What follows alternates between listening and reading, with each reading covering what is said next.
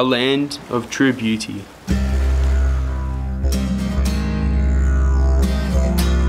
From the blue ocean and the reef, to the rainforest and the valleys. I live in paradise. But paradise doesn't last forever. We're at a time like no other in the history of man. We are faced with our own possible extinction, caused by ourselves. We've gone through uh, fires in our rainforest in Eungella, which is just, it's never happened before. We've had mass flood events. Um, you know, you walk outside now and you can feel just how muggy and hot just so temperatures are. It's open, um, you, you can't dismiss something like that when a whole community burns down, a whole half the state burns, when you lose your house, you know?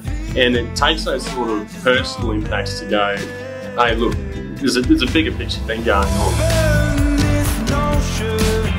When you've got pretty much every single ex-fire chief telling you months and months in advance that this is what's going to happen and it's being driven by climate change and global warming, the writing's on the wall.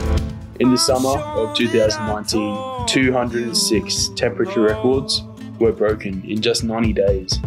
12 million hectares of land has been burned, 25 people and an estimated 48 million animals in New South Wales alone have been killed.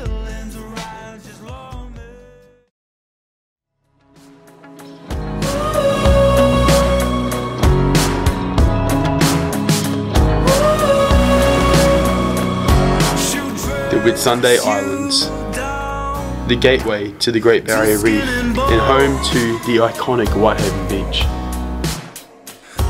A unique ecosystem which is suffering dramatically from the impact of human-induced global warming.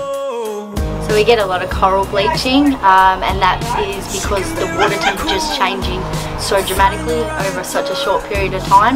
You're getting a lot more of it over summer when we're getting those uh, dramatic changes and shifting because of the wet season. Turtles starting to lay eggs on Whitehaven Beach which isn't so common because the silica content is not changing temperature like other beaches. If you accept the science, um, accept that the you know, solution based rather than you know just pointing out the problems that um, you know we can we can have a, a future that's viable, that's long term, that's happy and healthy. This is my message to the United Nations and the Australian government. Change needs to be implemented now to reduce our carbon emissions and pollution, support the health and well-being of our communities and to protect the paradise that I call home before it's too late.